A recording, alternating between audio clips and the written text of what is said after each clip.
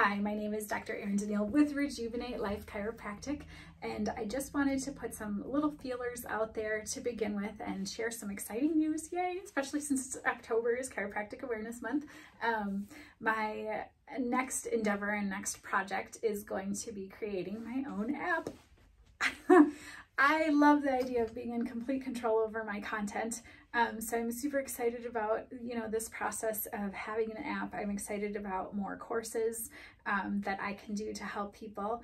And so if there's ideas, um, other input, feedback, um, as I go through this process, I will be, you know, inviting um, people to come along this journey with me um, and help me actually make an amazing um, app with lots and lots of content. And you know I love content and you know I love, you know, teaching if you've watched any of my videos.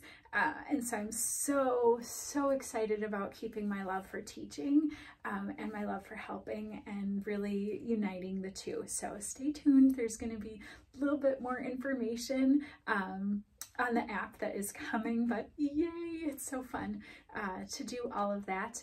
Um, just really being able to expand um, the amount of people that I can reach and the more, you know, the healthier that we are as individuals, the healthier our families can be, and the better off we are. Like to actually have people feeling good and coming from a place where they are revitalized, they have the vitality, they have all of this just passion and energy for life. To have that back again is just so fantastic. And any way that I can help along that journey, I I just love to because there's nothing better than watching just watching people come to life again.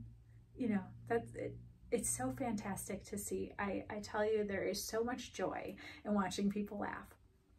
So I'm super excited about this whole new app and it'll be community, lots of lots of good things to come. So again, I'm Dr. Erin Danielle, just giving you a little sneak peek of something that is coming soon that I am really excited about.